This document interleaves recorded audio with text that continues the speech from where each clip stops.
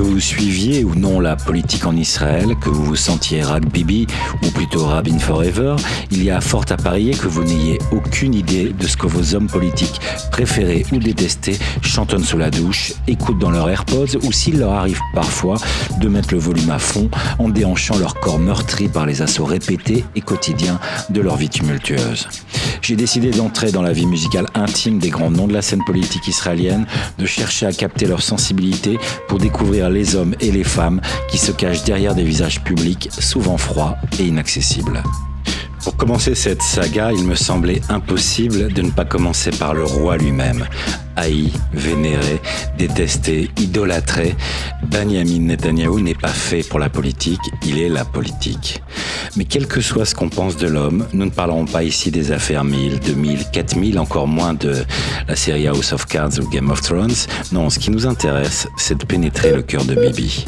Au cours de mes très sérieuses recherches, j'ai récolté quelques informations sur l'homme et ses musicaux. Elles ne sont cependant pas nombreuses et pour cause, Bibi n'est pas connu pour être spécialement passionné de musique. Mani Naftali, l'ancien surintendant de la résidence du Premier ministre, donc très très proche de lui, a déclaré au journal Walla en mars 2019 Pendant les deux années où j'ai travaillé pour Netanyahou, je n'ai jamais vu Bibi écouter de la musique. Propos confirmés par Robbie Mann, homme d'affaires et ex-ami intime du couple Netanyahou. Bibi n'a pas de temps pour la musique, 95% de son temps est en politique. Même quand il va aux toilettes, il s'intéresse à la politique.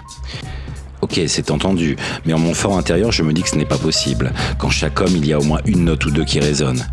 Alors oui, peut-être Bibi était à la musique ce que Mad Max est à la comédie romantique, mais il doit bien y avoir quelque chose. Et j'ai trouvé. Oui, j'ai trouvé. Des heures et des nuits à parcourir le net jusqu'à ce que je tombe sur quelques interviews télé au cours desquelles l'homme se livre non seulement à quelques confessions musicales, mais se prête au jeu de pousser la chansonnette. Si, si. C'est le cas par exemple en compagnie de Shimon Peres sur euh, Arutz Stein en 1995. À plusieurs reprises, Bibi, de manière répétée, fait part de son admiration pour Harry Einstein et déclare beaucoup, beaucoup apprécier le chanteur. En 2014, de nouveau avec Shimon Peres, mais cette fois plus en tête à tête, puisque remarquez le personnage à droite, un grand dadé du nom de Benny, entendez Benny Gantz. À cet instant, aucun des deux ne sait encore qu'il va pourrir la vie de l'autre cinq ans plus tard. Non, ici l'esprit est bon enfant et Bibi semble même heureux d'interpréter Shir Shahira, la chanson du convoi d'Arik Einstein, à la résidence du président à l'occasion du jour de l'indépendance.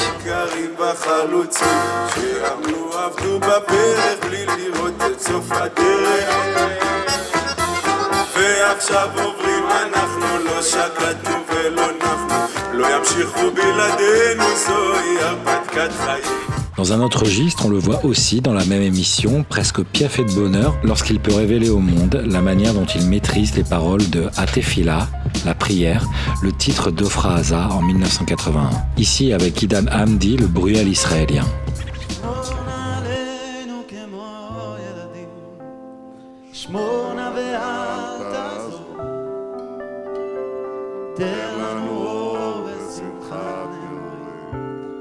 À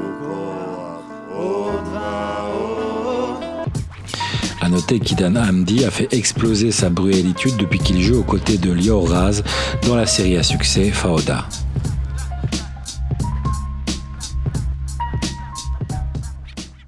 Netanyahu déclare aussi aimer Yoram Gaon et toutes ses chansons sur Jérusalem, ainsi qu'avoir, et on se doute pourquoi, une affection toute particulière pour Eretz Savi, la terre des serfs.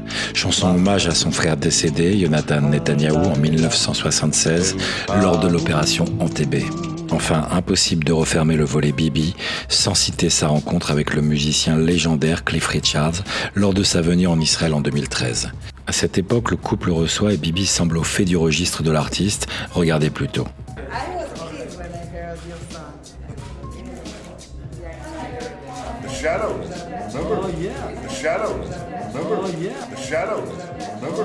Voilà, c'est tout pour aujourd'hui. On se retrouve très vite.